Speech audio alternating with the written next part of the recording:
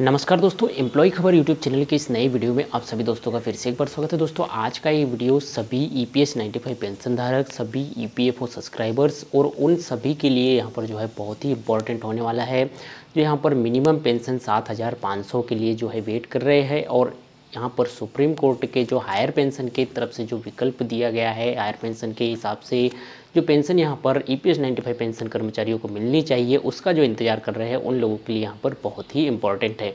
कई लोगों का यहाँ पर मानना है कि जो ई पी एफ़ की तरफ़ से यहाँ पर जो हायर पेंशन के ऊपर जो रिव्यू पिटिशन दायर की गई है, यह कहकर कि भाई ई पी एफ़ ओ के पास जो है फंड की कमी है तो किस तरह से यहाँ पर जो है ई पी एफ़ ओ के पास फंड है, नहीं है, ये भी सारा क्लियर हो जाएगा। किस तरह से आपको सात हज़ार पाँच सौ प्लस डी ए न्यूनतम पेंशन आपको यहाँ पर मिलेगी। ये भी जो है पूरा कैलकुलेशन करके हम यहाँ पर बताएँगे। साथ ही यहाँ पर जो है सुप्रीम कोर्ट की तरफ़ से जो मिनिमम पेंशन, हायर पेंशन को लेकर यहाँ पर जो बात कही गई है कि यहाँ पर कर्मचारियों को उनकी आखिरी सैलरी के हिसाब से यहाँ पर जो है हायर पेंशन मिलनी चाहिए, वो भी यहाँ पर संभव है, मिलना संभव है और उसका भी कैलकुलेशन यहाँ पर जो है आपको सारा करके दिखाएँगे। साथ ही यहाँ पर कुछ लोगों की ये डाउट्स है कि यहाँ पर एन राष्ट्रीय संघर्ष समिति की तरफ़ से जो है आंदोलन वो देरी से किए जा रहे हैं।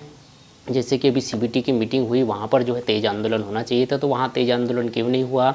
दूसरी चीज़ यहाँ पर जो है सात दिसंबर को एन राष्ट्रीय संघर्ष समिति की तरफ़ से यहाँ पर एक बड़ा आंदोलन दिल्ली में रखा गया है। ये जो है काफ़ी देर यहाँ पर जो है कर रहे हैं। दो से तीन महीने का समय यहाँ पर दिया गया है। तो ये समय क्यों दिया गया है? इस तरह के जो है कई सवालों के जवाब आपको यहाँ पर आज के इस वीडियो में मिलने वाले हैं। साथ ही यहाँ पर मेन हमारा आज के वीडियो का फोकस है कि यहाँ पर किस तरह से आपको सात हज़ार पाँच सौ प्लस डीए न्यूनतम पेंशन मिलेगी और हायर पेंशन के ऊपर जो यहाँ पर सुप्रीम कोर्ट ने आर्डर दिया है कि आपके आखिरी वेतन के हिसाब से, आपको आखिरी वेतन के हिसाब से आपके जो है हायर पेंशन मिलेगी, वो किस तरह से यहाँ पर मिलेगी, ये कैलकुलेट करके हम आज के इस वीडियो में आपको यहाँ पर दिखाने वाले हैं। तो दोस्तों, इस वीडियो को जो है अधिक से अधिक शेयर कीजिएगा हर एक व्यक्ति कम से कम अपने दस लोगों के साथ शेयर ज़रूर कीजिएगा ताकि उनको जो है ये पूरा कैलकुलेशन पता चल जाए कि सात हज़ार पाँच सौ प्लस डी और जो हायर पेंशन का है, विकल्प यहाँ पर सुप्रीम कोर्ट ने दिया है, वो जो है किस तरह से कैलकुलेट होकर और किस तरह से उनको जो है यहाँ पर मिलेगा ई पी के पास कितना फंड है और उस फंड का जो है किस तरह से उपयोग करके यहाँ पर जो है यह पेंशन आपको मिलने वाली है। एनएससी राष्ट्रीय संघर्ष समिति के अध्यक्ष माननीय कमांडर अशोक रावत जी की तरफ़ से यह पूरा कैलकुलेशन यहाँ पर पाँच पेज का कैलकुलेशन तैयार करके यहाँ पर जो है माननीय प्रधानमंत्री, माननीय मुख्यमंत्री, माननीय जो वित्त मंत्री है और सभी ईपीएफओ कार्यालय और सभी सीबीटी मेंबर्स के सदस्यों को यहाँ पर भेज दिया गया है। तो इसी के अकॉर्डिंग जो है आज का हमारा वीडियो है। आपसे बार बार निवेदन है कि वीडियो को जो है बिल्कुल अधिक से अधिक शेयर कीजिएगा। आपका फेसबुक ट्विटर इंस्टाग्राम जहाँ पर भी आपका अकाउंट है व्हाट्सअप है, वहाँ जो है अधिक से अधिक लोगों को शेयर कीजिएगा ताकि हर लोगों को जो है इसके कैलकुलेशन के बारे में पता चल जाए और उनको ये समझ में आ जाए कि किस तरह से उनको जो है सात हज़ार पाँच सौ प्लस डीए और हायर पेंशन यहाँ पर मिल सकती है और अधिक से अधिक लोग जो है यहाँ पर जागरूक हो और वो भी यहाँ पर जो है इस आंदोलन में भाग ले और अपनी मांगों के लिए जो है दृढ़ होकर यहाँ पर जो है अपनी मांग करे। तो चलिए वीडियो में आगे बढ़ते हुए आपको बताते हैं ये पूरा कैलकुलेशन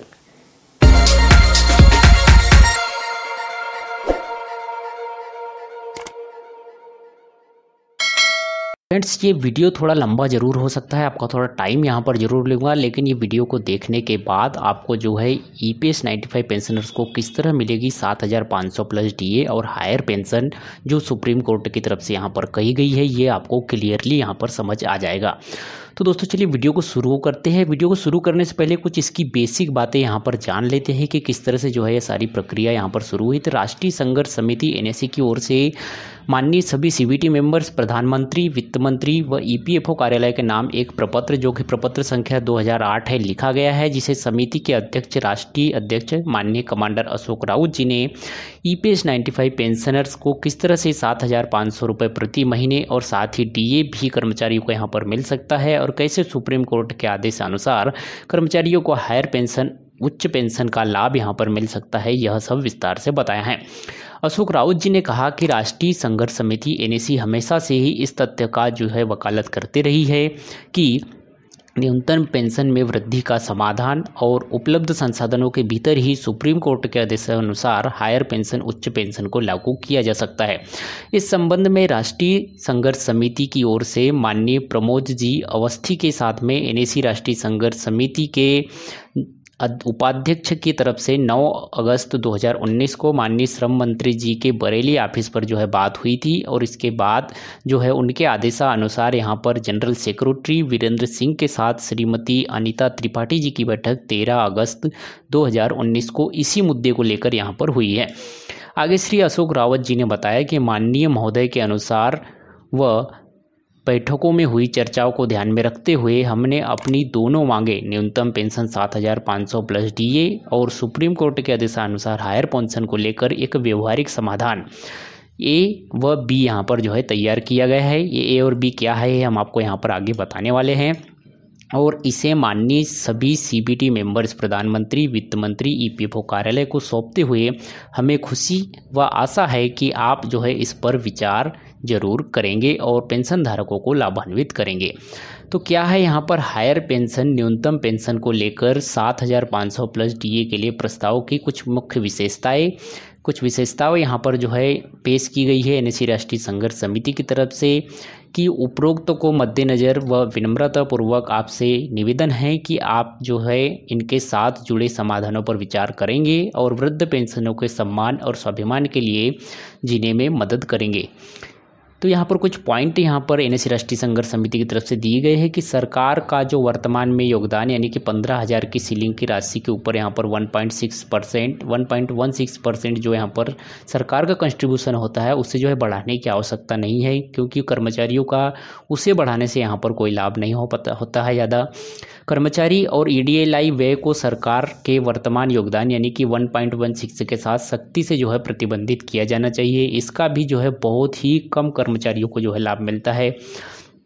पेंशन फंड में योगदान करने वाले कर्मचारियों को वास्तविक वेतन पर आठ दशमलव तैंतीस प्रतिशत की अनुमति दी जानी चाहिए, जो कि अनुलग्न की गणना में दिखाया गया है। आगे गणना में दिखाया गया है, कर्मचारियों को जो है उनकी वास्तविक वेतन के हिसाब से आठ दशमलव तैंतीस प्रतिशत पैसे की यहाँ पर जो है अनुमति प्रदान करनी चाहिए। दोनों मांगे, यानी कि वास्तविक वेतन पर हायर पेंशन और न्यूनतम पेंशन, दोनों में से एक विकल्प यहाँ पर कर्मचारियों के लिए पेश किए जाना चाहिए। यदि कर्मचारी चाहे तो वह सात हज़ार पाँच सौ प्लस डीए का जो है न्यूनतम वेतन का विकल्प चुन ले, या तो फिर हायर पेंशन का विकल्प चुन ले, ऐसा प्रस्ताव यहाँ पर दिया गया है।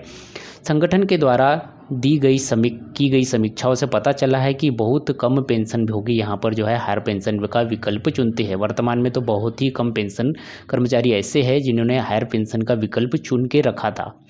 क्योंकि यह डीए की जो है पेशकश नहीं करता है, इसमें जो है डीए समय पर बढ़ता या कम होता नहीं है, जैसे महँगाई भत्ता बढ़ता है, जबकि न्यूनतम पेंशन में डीए की पेशकश होती है। और डीए के बराबर राशि न्यूनतम पेंशन में शामिल हो सकती है। जिस तरह मूल योजना में प्रावधान है और हमारी चर्चाओं के हिसाब से प्रति वर्ष इसकी समीक्षा की जाने की बात भी यहाँ पर समिति और जो है ईपीएफओ कार्यालय और सीबीटी मेंबर्स के बीच हुई है। अब से सेवानिवृत्त की दर में जो है अगले पाँच से दस वर्षों के लिए भारी कमी की जा रही है, जो आगे जो है चलकर स्वास्थ्य पेंशन कोष के योगदान देगा। ईपीएस 95 पेंशन योजना के सदस्य बढ़ाने की पर्याप्त गुंजाइश है। वर्तमान में छः करोड़ सक्रिय योगदानकर्ता सदस्यों की संख्या है और इन्हें जो है संबंधित समूहों के द्वारा प्रचार प्रसार और अधिक बढ़ाया जा सकता है, जहाँ पर हमारा संगठन इन प्रयासों को भी भाग लेने के लिए प्रतिबद्ध है। यदि सरकार कोई ऐसा कदम उठाना चाहती है कि E P S ninety five pension धारकों की सदस्यता और बढ़े, ये लोग जो है छः करोड़ वर्तमान में जो है इनका जो है और ज़्यादा यहाँ पर जो है कंट्रीब्यूशन हो ताकि योजना अच्छे से चले। तो इसके लिए भी E P S ninety five pension धारक और एन राष्ट्रीय संघर्ष समिति प्रयास भरपूर करेगी, ऐसा इन्होंने कहा है। आगे लिखते हैं कि वर्तमान फंड प्रबंधक जो कि संतोषजनक है, उसे आगे और बेहतर बनाया जाना चाहिए ताकि फंड को कोई नुकसान न हो। यदि आवश्यकता हो तो यहाँ पर सरकार के द्वारा बेहतर बनाया जा सकता है और अन्य फंड के मामले में इसमें जो है चार प्रतिशत का योगदान किया जा सकता है। अब आते हैं हमारे मूल टॉपिक के ऊपर। ये तो बात यहाँ पर हुई कि एन राष्ट्रीय संघर्ष समिति ने जो सजेशन यहाँ पर दी है कि कुछ इस तरह के जो है बदलाव छोटे मोटे बदलाव करके यहाँ पर इस जो है योजना को और अच्छा और मज़बूत बनाया जा सकता है। अब मूल बात आती है कि E P S ninety five pension सात हज़ार पाँच सौ प्लस डी ए का जो फार्मूला यहाँ पर माननीय कमांडर अशोक रावत जी और एन राष्ट्रीय संघर्ष समिति की तरफ़ से बताया गया है और सभी सी बी मेंबर्स और वित्त मंत्री को यहाँ पर भेजा गया है। उसके तहत यहाँ पर न्यूनतम पेंशन और हायर पेंशन किस तरह से मिलेगी? तो दो फार्मूले यहाँ पर है, फार्मूला नंबर ए और फार्मूला नंबर बी। तो इन दोनों को जो है यहाँ पर हम समझने की कोशिश करते हैं। तो यहाँ पर जो मौजूदा उपलब्ध संसाधनों और न्यूनतम पेंशन में वृद्धि का प्रस्ताव जो पहला है, उसके हिसाब से E P S ninety five pension योजना के तहत काम करने वाले कर्मचारियों की कुल संख्या यहाँ पर उन्नीस करोड़ तैतीस लाख इक्यानवे हज़ार आठ सौ साठ। ऐसे कर्मचारी है जिन्होंने ई पी एस यहाँ पर ई पी एफ़ ओ में अपना खाता खुलवाया है। इसमें से कई के खाते बंद हो चुके होंगे। कई ऐसे होंगे जो अपना जो है कंट्रीब्यूशन कर रहे हैं, कई ऐसे होंगे जो कंट्रीब्यूशन नहीं कर रहे हैं। मतलब कुल मिलाकर अभी तक यहाँ पर जो है ई पी एफ़ ओ के पास इतने खातों का यहाँ पर जो है नाम है कि इतने खाते खुले गए हैं। अब पेंशन की ओर योगदान करने वाले कर्मचारियों की कुल संख्या मतलब अभी ईपीएफओ में जो सक्रिय खाते हैं वो है छः करोड़ खाते यहाँ पर जो है अभी तक सक्रिय है। छः करोड़ खातों में से पेंशन धारकों के कुल खाते हैं यहाँ पर चौंसठ हज़ार, चौंसठ लाख तिरानवे हज़ार नौ सौ तेईस, यानी कि लगभग जिन्हें जो है हम पैंसठ लाख मान सकते हैं। यदि संपत्ति की बात करें तो चार लाख बारह हज़ार करोड़ रुपए यहाँ पर ईपीएफओ के पास में जमा है। लावारिस धन की बात करें, यानी कि ऐसा धन जो कि यहाँ पर कर्मचारियों के उपयोग में नहीं आ रहा है। कुछ कर्मचारी जो कि यहाँ पर छः महीने से पहले ही अपनी जॉब छोड़ देते हैं। कुछ कर्मचारी जो है, उनका पीएफ में किस तरह से जो है, कुछ ऐसी प्रॉब्लम है के अपडेट नहीं है, कुछ नहीं है। इस तरह से उनको जो है, किस तरह का पैसा नहीं मिल पाता है। तो इस तरह के ऐसे कई जो ऐसे दस पॉइंट है, जो कि हमने एक वीडियो स्पेशल इसके ऊपर बनाया है, लावारिस धन के ऊपर, उसे आप जो है सकते हैं। तो इस तरह की संपत्ति यहाँ पर ईपीएफओ के पास सत्तावन करोड़ रुपए है। तो इस तरह से कुल संपत्ति यहाँ पर जो है ईपीएफओ के पास वर्तमान में है चार लाख बारह हज़ार करोड़ रुपए प्लस सत्तावन हज़ार करोड़ रुपए। यानी कि आज की कुल संपत्ति और लावारिस संपत्ति मिलाकर चार लाख उनसठ हज़ार करोड़ रुपए ईपीएफओ के पास में अभी जो है सेफ़ रखे हुए हैं। अब पेंशन फंड में मौजूदा नियमित आमदनी की बात करें तो छः हज़ार करोड़ यहाँ पर जो है छः हज़ार करोड़ कर्मचारियों का सक्रिय खाता है, जो कि प्रति महीने यहाँ पर जो है बारह सौ पचास रुपये का कंट्रीब्यूशन कर रहे हैं 2014 के बाद में। 2014 के पहले जो है यह कम होता था 2014 के बाद में जो है यह अधिकतम कंट्रीब्यूशन जो है बारह सौ पचास रुपये हो गया है। तो इस हिसाब से यदि छः करोड़ कर्मचारी बारह सौ पचास रुपये प्रति महीने के हिसाब से कंट्रीब्यूशन करें तो बारह महीने का कंट्रीब्यूशन नब्बे हज़ार करोड़ रुपए यहाँ पर होता है। अब इस नब्बे हज़ार करोड़ को यदि मिला दिया जाए तो ई के पास कुल कितनी संपत्ति है? मतलब सक्रिय संपत्ति और पहले की संपत्ति मिला दी जाए तो पॉइंट नंबर तीन और पॉइंट नंबर चार को यहाँ पर जो है जोड़ दिया जाएगा। पॉइंट नंबर तीन यानी कि पहले की कुल संपत्ति चार लाख उनसठ हज़ार करोड़ रुपये और अभी की जो आमदनी वाली संपत्ति है तो ये हुई नब्बे हज़ार करोड़ रुपए। तो इस तरह से पाँच लाख उनसठ हज़ार करोड़ रुपए यहाँ पर ईपीएफओ के पास से कुल संपत्ति हो गई। अब मौजूदा संपत्ति पर वार्षिक ब्याज की बात करते हैं तो ये यहाँ पे हम मानते हैं चौदह प्रतिशत प्रति वर्ष की हिसाब से यहाँ पर ब्याज मान रहे हैं। अब चौदह परसेंट के हिसाब से क्यों मान रहे हैं? आप यह सोचते होंगे कि भाई ब्याज तो तो बैंकों में यहाँ पर जो है कम ब्याज हमें मिलता है, लेकिन यहाँ पर यदि शेयर मार्केट की बात करें तो शेयर मार्केट में बारह परसेंट न्यूनतम से लेकर सत्रह अठारह परसेंट तक जो है यहाँ पर आपको जो है शेयर मार्केट में ब्याज मिल जाता है। तो इस हिसाब से यदि हम सत्रह अड़सठ अठारह परसेंट को भी काउंट नहीं करते हैं न्यूनतम बारह को भी काउंट नहीं करते हैं, बीच का जो चौदह परसेंट मानते हैं तो उस हिसाब से यहाँ पर जो कुल संपत्ति है, पाँच लाख उनसठ हज़ार करोड़ रुपए, उस पर जो है अठहत्तर हज़ार दो सौ साठ करोड़ रुपए का सालाना ब्याज यहाँ पर ई के पास आ रहा है। अब इस ब्याज में से ही सभी पेंशन धारकों को यहाँ पर पेंशन ईपीएफओ को देनी है। तो पेंशन धारकों की कुल देय पेंशन राशि, पेंशन धारकों की मांग के हिसाब से सात हज़ार पाँच सौ प्लस डीए तो सात हज़ार पाँच सौ तो इनकी जो है न्यूनतम पेंशन हो गई। अब डीए को मिलाकर हम मान लेते हैं कि यहाँ पर कर्मचारियों को दस हज़ार रुपये प्रति कर्मचारी को यहाँ पर जो है मिलना चाहिए। तो इस हिसाब से पैंसठ हज़ार कर्मचारी, पैंसठ हज़ार पेंशनर्स, जिनको कि दस हज़ार रुपये प्रति महीने के हिसाब से बारह महीने तक देनी पड़ेगी तो इस हिसाब से इनको कर्मचारियों को देना पड़ेगा अठहत्तर हज़ार करोड़ रुपये तो यहाँ पर पेंशन धारकों की मांग यदि मान ली जाती है सात हज़ार पाँच सौ प्लस डी ए उसके हिसाब से भी यहाँ पर जो है केवल अठहत्तर हज़ार करोड़ रुपए पर साल का यहाँ पर ईपीएफओ को इन पैंसठ लाख पेंशन धारकों को देना पड़ेगा। इसके बावजूद यहाँ पर भविष्य की ज़रूरतों के लिए ईपीएफओ के पास 260 करोड़ रुपए इस ब्याज में से ही बचता है, पॉइंट नंबर पाँच और छः के हिसाब से।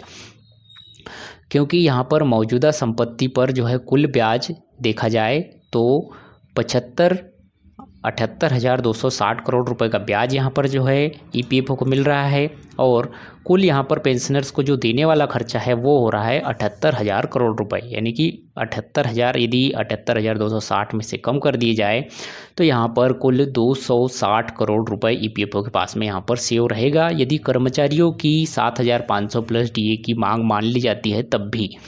तो इस तरह से यहाँ पर जो है यह मिनिमम पेंशन की जो मांग यहाँ पर कर्मचारी कर रहे हैं, वो जो है आसानी से पूरी की जा सकती है। तो इस हिसाब से पेंशन धारकों की सात हज़ार पाँच सौ प्लस डीए प्रति महीने की जो मांग है, उसको जो है पूरा करने के बाद भी ईपीएफओ के पास 260 करोड़ रुपए की शेष राशि यहाँ पर बच रही है। तो ये तो हुआ फार्मूला ए। अब फार्मूला बी की बात करते हैं। फार्मूला बी में न्यूनतम पेंशन और हायर पेंशन दोनों ऐसे कर्मचारियों के लिए बात करते हैं। वो फार्मूला ए जो था, वो केवल हमने न्यूनतम पेंशन वाले कर्मचारियों के लिए बात की थी। तो इसके हिसाब से यहाँ पर E P S ninety five pension योजना के तहत काम करने वाले कर्मचारियों की कुल संख्या उन्नीस करोड़ तैंतीस हज़ार, उन्नीस करोड़ तैंतीस लाख इक्यानवे हज़ार आठ सौ साठ। पेंशन में योगदान करने वाले कुछ कर्मचारियों की संख्या छः करोड़, जो कि सक्रिय खाते अभी यहाँ पर ई के पास है। पेंशनरों की कुल संख्या चौंसठ लाख तिरानवे हज़ार नौ सौ तेईस लगभग पैंसठ लाख इसे जो है माना जा सकता है।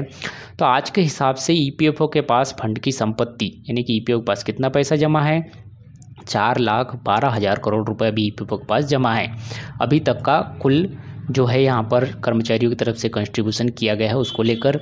लावारिस धन की बात करें तो यहाँ पर ईपीएफओ के पास लावारिस धन के रूप में सत्तावन हज़ार करोड़ रुपए यहाँ पर है और कुल संपत्ति की बात यदि करें तो यहाँ पर ई के पास कुल संपत्ति है, लावारिस धन यदि मिला दिया जाए, और उसमें जो है, जो कुल पैसा यहाँ पर ई के पास चार लाख बारह हज़ार करोड़ रुपए जमा है, उन दोनों को जोड़ दिया जाए तो चार लाख उनसठ हज़ार रुपये करोड़ यहाँ पर कुल ई के पास अभी जमा है।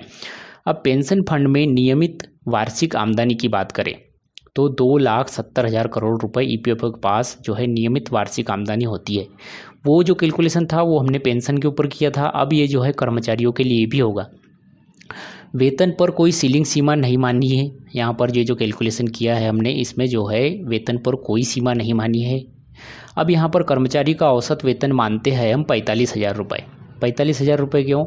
क्योंकि यदि कोई कर्मचारी यदि सीलिंग लिमिट के ऊपर अपना हायर पेंशन का विकल्प चुनता है तो उसे जो है पंद्रह हज़ार से ऊपर ही उसकी जो है बेसिक पेमेंट होगी, तभी वह जो है अपना हायर पेंशन का विकल्प भी चुनना चाहेगा। यानी कि उसकी जो है कम से कम पेंशन ज़्यादा ही होगी। यहाँ पर कुछ कर्मचारी ऐसे हैं जिनको नब्बे हज़ार, एक लाख एक लाख बीस हज़ार रुपये तक भी जो है यहाँ पर तनख्वाह मिलती है। कई कर्मचारी ऐसे हैं जिनको साठ हज़ार, सत्तर हज़ार रुपये तक पेंशन तनख्वाह मिलती है। यदि कर्मचारी को तीस हज़ार, पैंतीस हज़ार रुपये तक तनख्वाह मिलेगी तो वह जो है उतने में नहीं चाहेगा कि उसको जो है हायर पेंशन का विकल्प वह चुने। यदि उसे ज़्यादा पेंशन मिलती है तभी वह ज़्यादा यहाँ पर जो है वेतन मिलता है। तभी वह चाहेगा कि वह जो है हायर पेंशन का विकल्प यहाँ पर चुने।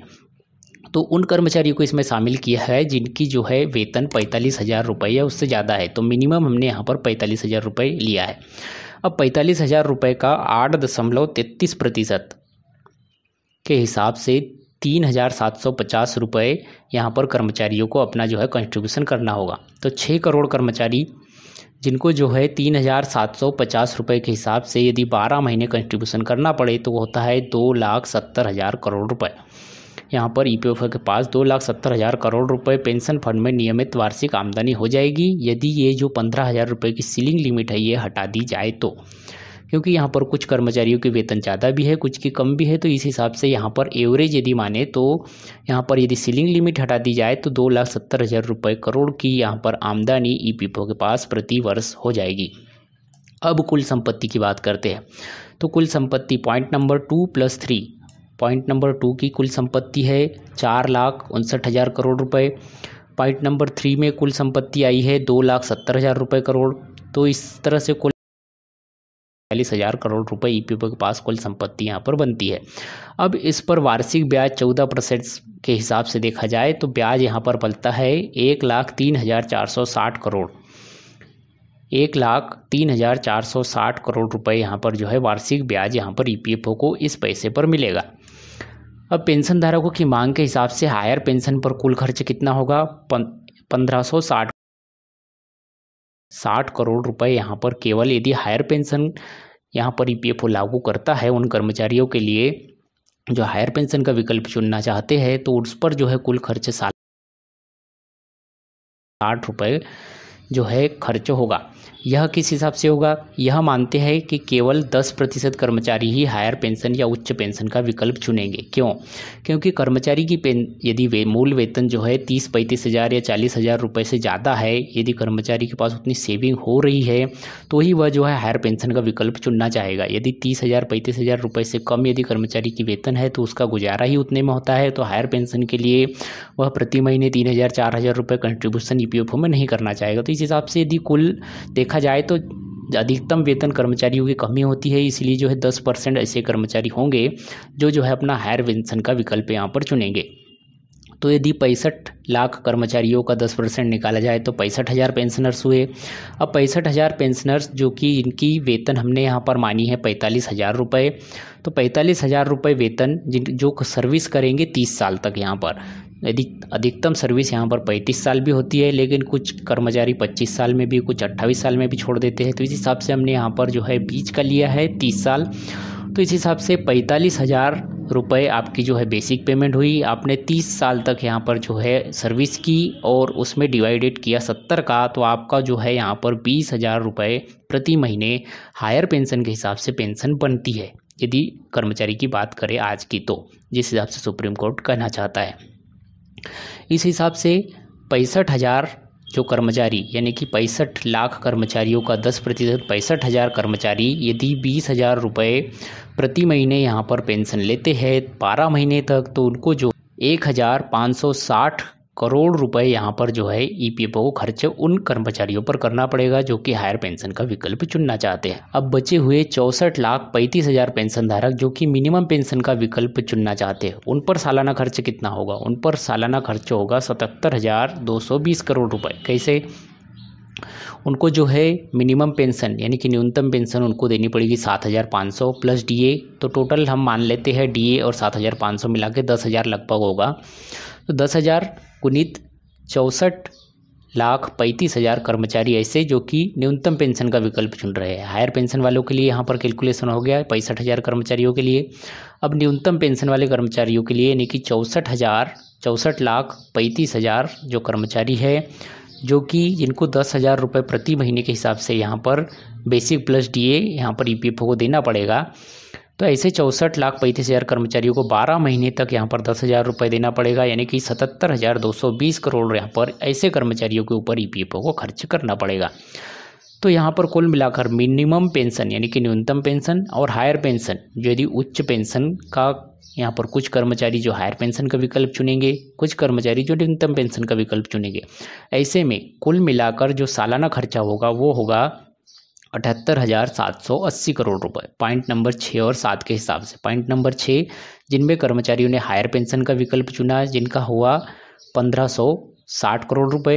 और पॉइंट नंबर सात, जिसमें कर्मचारियों ने न्यूनतम पेंशन का विकल्प चुना, ऐसे कर्मचारी, जिनका हुआ सतहत्तर हज़ार दो सौ बीस करोड़ रुपए। तो कुल मिलाकर यहाँ हुआ अठहत्तर हज़ार सात सौ अस्सी करोड़ रुपए यहाँ पर ई पी एफ़ सालाना खर्च हुए। अब भविष्य की ज़रूरतों के लिए यहाँ पर भी ई पी एफ़ ओ के पास चौबीस हज़ार छः सौ अस्सी करोड़ रुपए से वो बचता है। कैसे? पॉइंट नंबर पाँच और पॉइंट नंबर आठ पर हम यहाँ पर जो है नज़र डालते हैं। पॉइंट नंबर पाँच, जिसमें कि चौदह प्रतिशत ब्याज दर के हिसाब से एक लाख तीन हज़ार चार सौ साठ करोड़ रुपए ई पी एफ़ के पास ब्याज आता है। अब हायर पेंशन और मिनिमम पेंशन देने के बाद कर्मचारियों को यहाँ पर जो है ईपीएफओ को सतहत्तर, अठहत्तर हज़ार सात सौ अस्सी रु, करोड़ रुपए ही देना पड़ रहा है। तो बचे चौबीस हज़ार छः सौ अस्सी करोड़ रुपए जो कि यहाँ पर ईपीएफओ के पास भविष्य के लिए सीओ बचते हैं हायर पेंशन देने के बाद भी और न्यूनतम पेंशन देने के बाद भी।